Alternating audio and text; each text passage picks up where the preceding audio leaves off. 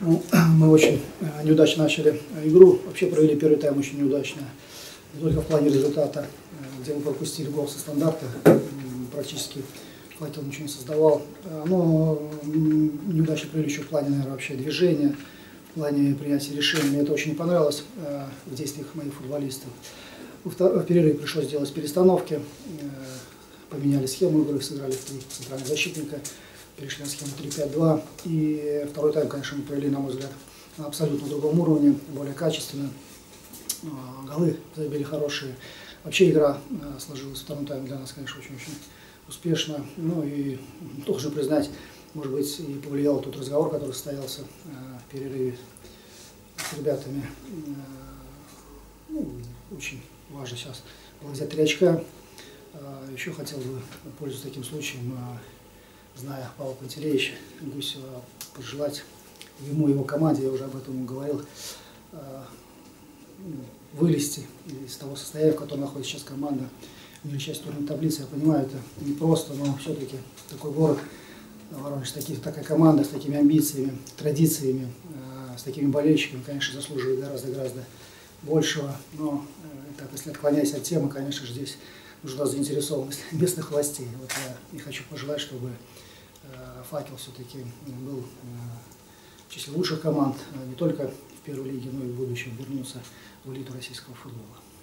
Пожалуйста, я поверю, в принципе, все скажу. Вы работали с Арсеналом до вот, вот снова пришли. Чем э, турниры отличаются? Э, тот же уровень команд вот, средний ну, остался, как вы его помните? Или что-то изменилось? Да, я думаю, что если так в среднем брать, в то, что было, то и осталось. Таких значительных изменений, честно говоря, не заметил. Пожалуйста, еще вопросы? Дмитрий Анатольевич, вы а, с Арсеналом, да, продолжая вопрос, а, сразу смогли выйти в премьер-лигу. Сейчас уверенно, ну, лично своими именами называя, ведете Енисей в премьер-лигу. Не опасайтесь, что за вами может закрепиться амплуа такого тренера выводящего команды? Тренер Никитин. Я как-то об этом, честно говоря, не задумываюсь. А, главное самое, чтобы э, решали те задачи, которые стоят перед нами руководство. А я вообще сам э, максималист по жизни, и футболистом был максимальные цели ставил э, в тренерском плане, тоже, конечно, стараюсь быть максималистом. Что-то получается, конечно, некоторые вещи не получаются, но это приходит, конечно, с опытом. Поэтому я бы не стал называть себя тем тренером, который меня назвали. В любом случае, Э, делаю, прикладываю максимальные усилия для того, чтобы о Енисее говорили, э, чтобы Енисей каждой игрой лучше, чтобы Енисей показывал интересный результативный футбол для болельщиков, в первую очередь, конечно, нашего, нашей команды. Ну хотелось бы, конечно, э, как, поскольку задача вы знаете, какая у нас стоит, хотелось бы, чтобы Енисей тоже попробовал свои силы впервые в жизни в премьер-лиге. Спасибо. Михаил а проблемы какие-то сейчас в Красноярске, видимо, есть, или вот как бы все по плану сейчас идет такое впечатление, что вот все гладко и все хорошо, либо, либо что-то вот настораживает. Нет, вы знаете, ну, у нас э, идет реконстру... Э, реконструкция стадиона главного, который закрыт, да, играем в манеже. А, ну, я бы, честно говоря, вот я э, общаюсь с коллегами, которые приезжали в Красноярск на игру, в принципе, никакого дискомфорта нет. Может быть, все-таки, наверное, хотелось бы, чтобы мы играли на натуральном поле, на хорошем стадионе. Может быть, в этом есть некий такой э, негатив, а так, в принципе, в плане других организационных дел, я думаю, что в Красноярск, наверное, входит э, наверное, ну, в одну, наверное, из пяти команд э, ФНЛ. Я имею по организации, по финансированию. В этом плане в Красноярске все хорошо. Своему, так сказать, преемнику Максиму Карели что-нибудь пожелали бы? Но все равно смотрите с Спартаком, наверное. Смотрю. Советов много можно давать, но я думаю, наверное, в первую очередь, наверное, надо запаса терпения, потому что он должен прекрасно понимать, что удержаться на первом месте, ну, может быть, или так можно быть сказать, повторить тот успех, который был в прошлом году, гораздо тяжелее, чем завоевать первое место. Я думаю, что Максим это понимает. А, и просто не хотелось бы, чтобы в «Спартаке» какие-то, после такого результата, который сейчас есть на данный момент у «Спартака», а, какое-то было недопонимание, может, между руководством и тренером, главным тренером. Да. Может быть, э, какие-то конфликты случались бы в команде. Ни в коем случае этого не допускать нельзя. Я думаю, Масим с этим разберется, тем более на суд Лиги Чемпионов. Пожалуйста, еще вопрос. Игорь Анатольевич, э, задача в чемпионате понятна. Какая стоит задача у Енисея в Кубке России? Она банальная, пройти как можно дальше. Вы будете основной состав выставлять? Мне, знаете, я, вот вы задаете такой вопрос, основной, я не люблю вообще слово основной либо запасной. Э, Есть игроки, которые получают меньше игрового времени. да. Значит, ваше наверное, понимание, это, наверное, запасные, да? Мое понимание, это те, кто меньше играл, получал, как я уже сказал, игровой практики, поэтому, конечно же, может быть, э, а учитывая то, что приедет команда премьер-лиги, конечно же, может быть, будет ротация, но э, она будет незначительная. Тем более после Кубка у нас э, сразу же такая очень значимая игра в чемпионате против крыльца. Так уже адаптируйтесь, все-таки Красноярск будет часовой пояс, перелеты, как Да, ну, сейчас Уже уже набирать, наверное, опыта, как с этим. Ну, первое время тяжело было, наверное, первые две недели, может, три недели. Потом все-таки уже так привыкаешь, даже к часовому поезду, к самолетам. Ведь здесь я с Андреем Тихоновым разговаривал тоже, он говорил, что ну, тяжело ему было, он говорит, первое время потерпи, а потом э, войдешь в тонус такой, то есть, в принципе, сейчас уже никаких То проблем. есть э, задолбаю, конечно, вас вопросом про багажи всякие, но все-таки э, багаж Тихонова ощущается. Сейчас вот, э, Здесь костяк есть команды, в принципе, я уже неоднократно, я уже неоднократно говорил, что э, самого что костяк остался, никаких глобальных изменений не собираюсь делать. И э, та философия, которую Андрей перевел в том году э, этой команде, э, в принципе, я придерживаюсь такой же философии, потому что мы с Андреем, в принципе, единомышленники в э, футбольном понимании. Поэтому практически то, то что Андрей привел этой команде, я, в принципе, как бы продолжаю начатое им дело. Ну так, по, по содержанию два немножко разных, мягко сказано, два разных тайма сыграли. Хочу поздравить команду Енисей с победой и персонально Дмитрия Анатольевича, которого я уважаю очень как футболиста, как тренера. Команда Енисей, мы прекрасно понимали, что объективно она выше классом наш, выше, выше в организации, лучше в организации игры. В этом составе квалифицированы очень игроки с хорошо поставленной игрой. Сильные козырь этой команды – это перевод мяча во фланг и с нацеленной передачей в штрафную площадь. И за счет габаритных, ну второй тайм так и произошло, когда вышел Кутин, габаритные два форварда, Кутин и Козлов особенно. Мы предупреждали об этом, ребят показывали, они знали сильные стороны этой команды. Э, План на игру был сыграть очень строго в обороне, перекрыть зоны, вот именно зоны, фланги перекрыть, чтобы лишить возможности дел- делать нацеленную передачу сюда, в центр штрафной площади. Если по первому тайму практически безукоризненно, за исключением некоторых шероховатостей, план этот выдерживался, выдерживался, то второй тайм, я об этом сказать не могу. Все три мяча были забиты с центральной зоны после фланговых передач. Два после фланговых передач, один после стандартного положения. Потеря концентрации. Потеря концентрации при игре с конкретным игроком. А, Были задания даны каждому игроку. Ответственные зоны. Великому сожалению, вот эти моменты, потеря концентрации, естественно, класс игроков команды Енисей привели к такому результату по отношению, по настрою, по отдаче.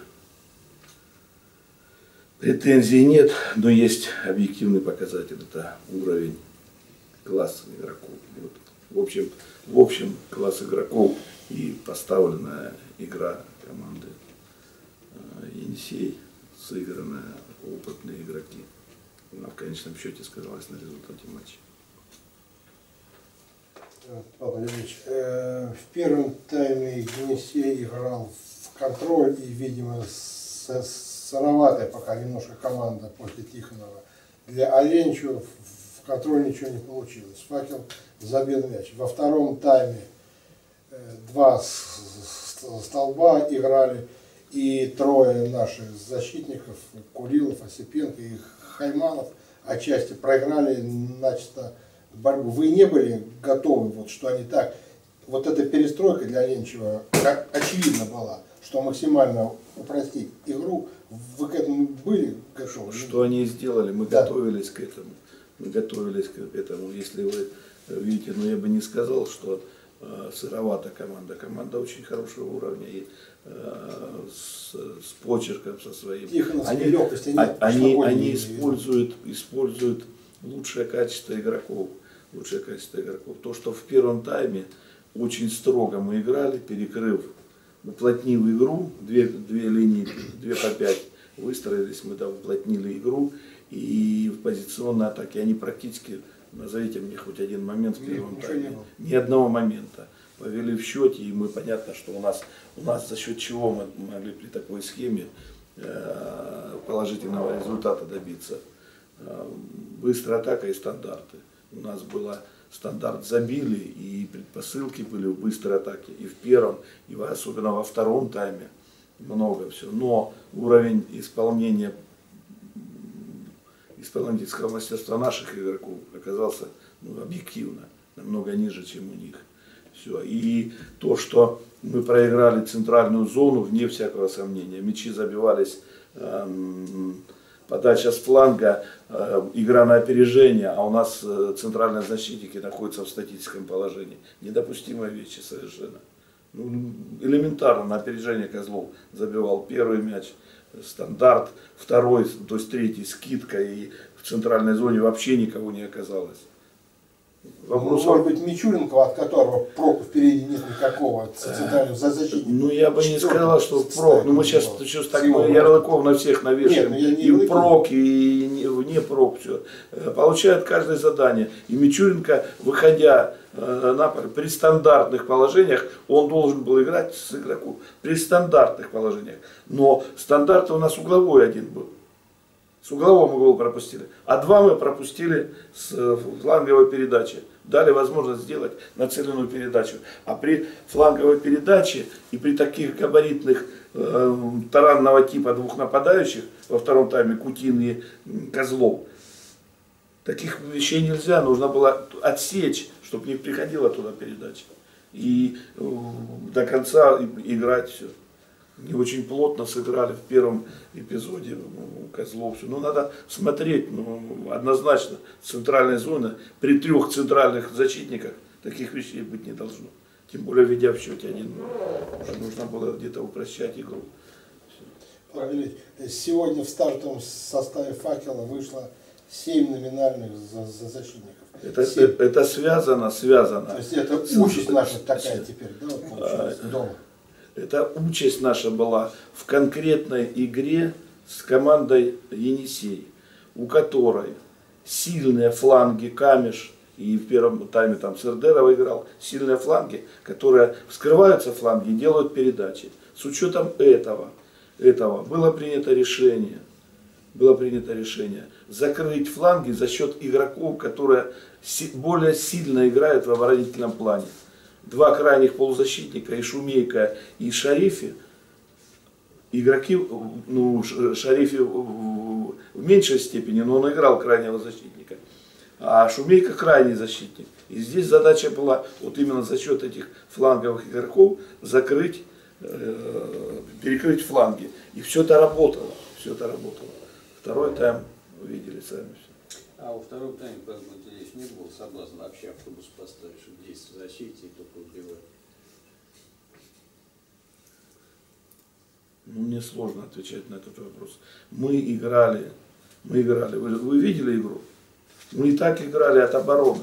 Мы понимали прекрасно, что если мы откроемся за счет более высокого исполнительского мастерства, они, э, они бы имели еще большее преимущество. Еще большее преимущество. Вышел во втором тайме скоростной Саркисов. Дай только зоны им все. И тогда проблемы были. Не случайно же они все 5-4 забивают на выезде. Мы играли первый тайм, пла- план выдерживался. Второй тайм, еще раз повторяю, потеря концентрации внимания в центральной зоне привела к взятию ворот. Все. Еще вопрос. Павел в сложившейся турнирной ситуации кубок это плюс для того, чтобы команда сыгралась, либо наоборот минус? Скажите, вам интересно будет смотреть э, команду премьер-лиги? Конечно. Интересно. А как вы считаете, зрителям интересно? Конечно. Это в плюс, да, команда сыграется, где-то здесь можно и ротацию состава как-то сделать все. Но это праздник. В нашей жизни не так много праздников, да, и мы все делали для того, чтобы для болельщиков наших был праздник. Как были до этого два года, да, когда пр- практически то, что разрешено для посещения, я не беру э, второй ярус, практически заполненный стадион, 20 тысяч на играх, когда участие команд.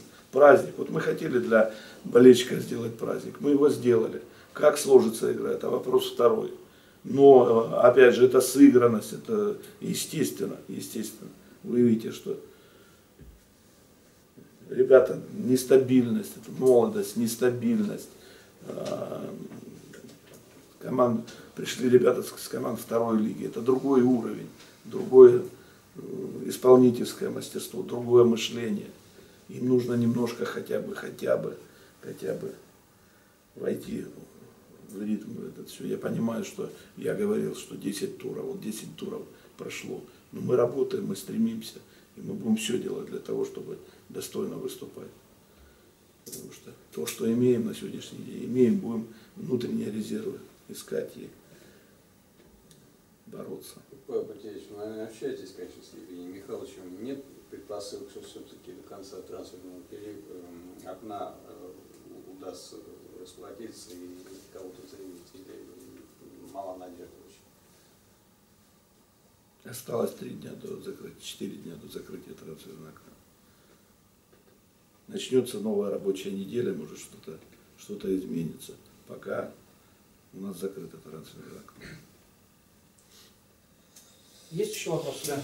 Павел Пантелеич, э, ну, во-первых, э, огромное спасибо от лица болельщиков. Э, Три 1,16 за 4 года – это прям праздник, потому что раньше такого не было. Спасибо, что не бросаете, э, не откладываете кубок на второй план.